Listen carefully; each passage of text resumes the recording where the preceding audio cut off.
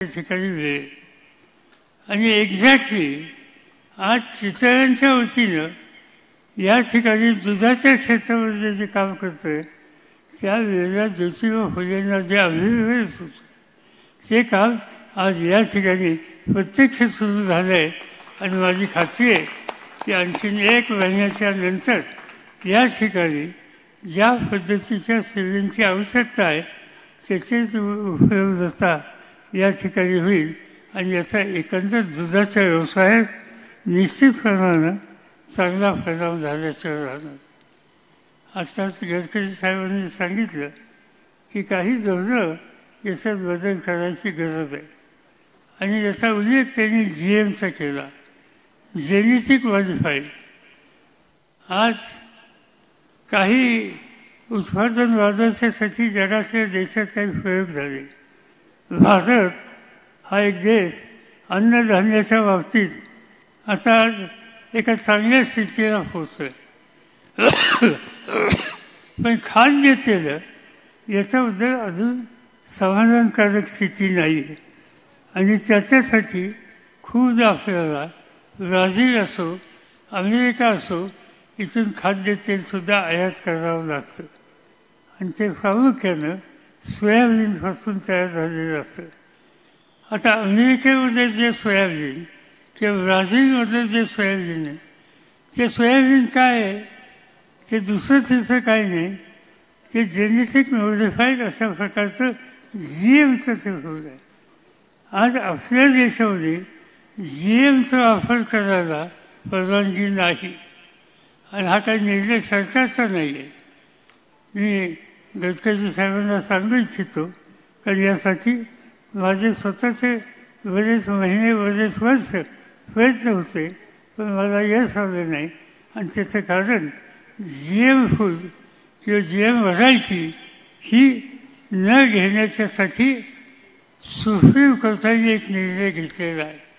आणि सुप्रीम कोर्टाने हा निर्णय घेतल्यामुळं केंद्र सरकारला सुद्धा त्याच्यामध्ये मर्यादा आहे. मी एवढंच सांगेन की दिल्लीमध्ये आपण बसायचं सांगितलं.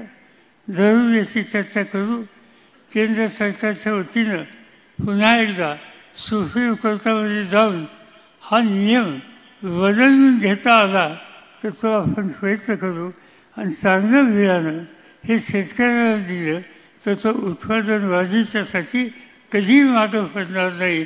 आणि या संबंधीचं काम या देशातला शेतकरी करू शकतो. मला आठवतं आहे की दोन हजार चारला देशाच्या शेती खात्याची जबाबदारी मुद्दामने घेतली. आणि घेतल्याच्या नंतर मला पहिल्या दिवशी फाईल आली एक. आणि त्या फाईलमध्ये असं लिहिलं होतं की आपल्याकडे गव्हाचा आणि तांदळाचा स्टॉक हा फार दिवस होणार नाही. तो साधारणतः तीन एक महिन्याचा स्टॉक आहे आणि परदेशातनं हे धान्य आयात केलं पाहिजे मी फार अस्वस्थ झालो. की आपण मुद्दाम शेती खाते घेतलं. आणि मला पहिल्या दिवशी विदेशातनं धान्य आणण्याच्या संबंधीचा निर्णय हा घेण्याचा प्रसंग माझा आला. हे काही योग्य नाही. मी काही सही केली नाही. दुसऱ्या दिवशी सकाळी मला मनमोहन सिंगांचा फोन आला. ते प्रधानमंत्री होते. आणि मला त्यांनी विचारले की पवार साहब आपके पास ऐसी फाइल आई है। मैंने कहा हाँ आई है। आपने अभी तक क्लियर नहीं की। मैंने अभी तक नहीं मैं सोच रहा हूँ क्योंकि कि आपने देश के गोदाम में स्टॉक कितना है और कितने दिन खुलेगा। इस बारे में कुछ असेसमेंट किया है मैंने अजून नाही केलेलं त्याने कृपा पहा आहे धान्य आपल्याला पाच सहा महिन्यामध्ये तीन महिन्याच्या नंतर शिल्लक नाही. ही स्थिती होईल आणि धान्याच्यासाठी कदाचित दंगलीसुद्धा व्हायची शक्यता आहे. नाईलाजानं मला धान्य आयात करायला लागेल पण त्याच्यानंतर आम्ही धोरणं बदलली. किमती उत्तम शेतकऱ्याला दिल्या. आणि मला सगळ्यात आनंद हा आहे की काळ्या ऐशी वन राखणारा हा शेतकरी त्यांनी हे आव्हान स्वीकारलं. आणि मला आठवतं आहे की दोन हजार चौदाला मी शेती खात्याची जबाबदारी शोधली. त्यावेळेला गव्हाच्या उत्पादनामध्ये जगामध्ये दोन नंबरचा देश हिंदुस्थान झाला. भाताच्या उत्पादनामध्ये जगामध्ये एक नंबरचा देश हिंदुस्थान झाला. फळ फळांच्या उत्पादनामध्ये जगामध्ये एक नंबरचा देश हिंदुस्थान झाला. साखरेच्या उत्पादनाच्यामध्ये जगामध्ये देश दोन नंबरचा हा हिंदुस्थान झाला.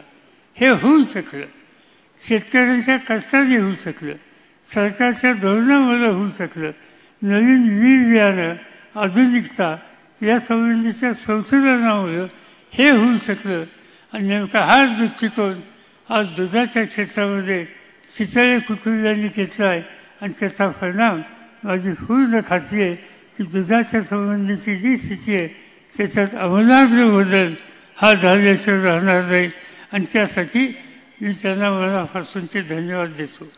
आज आपल्या भागामध्ये लोक उत्पादन वाढवत आहेत. आत्ताच मी येण्याच्या पूर्वी क्रांतिसिंह लाड यांच्या कारखान्यामध्ये जाऊन आलो.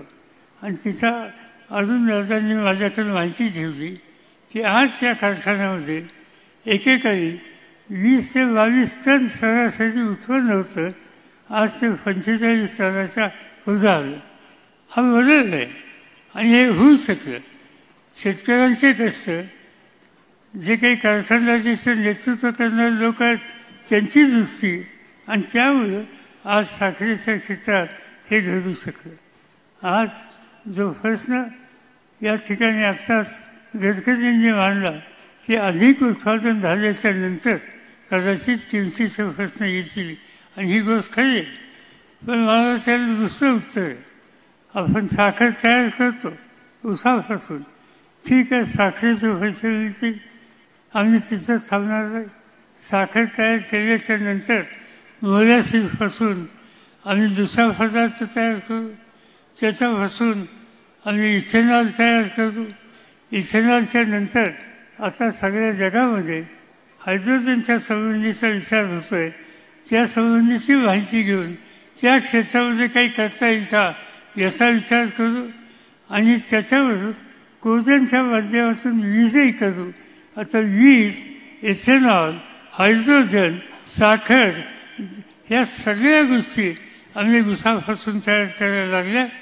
तर साखरेची किंमत कमी जास्त होईल पण या बाकीच्या गोष्टीच्यामुळं त्या शेतकऱ्याला दोन पैसे अधिक मिळतील आणि त्याचं अर्थशास्त्र हे मजबूत होईल आणि त्या संबंधीचं प्रयत्न हे आपल्याला करणं शक्य आहे. आणि हे सगळ्या पिकांच्या बाबतीत आहे. आणि हे जर करायचं असेल तर आधुनिकता आणि संशोधक वृत्ती इनोव्हेशन या गोष्टीच्याकडे लक्ष हे ठेवलं पाहिजे. आज नेमका हाच दृष्टिकोन ठेवून चितळ्यांनी चांगले प्रयत्न केलेले आहेत. त्यामुळं माझी खात्री आहे की त्यांचा हा सगळा नवीन उपक्रम त्यांचा नवीन प्रयत्न हा सवन शेतीला आणि शेतकऱ्याला मार्गदर्शक ठरेल आणि म्हणून त्यांना मनापासून मी धन्यवाद देतो त्यांचं अभिनंदन करतो आणि माझे दोन शब्द संभवतो धन्यवाद आदरणीय पवार साहेब. यानंतर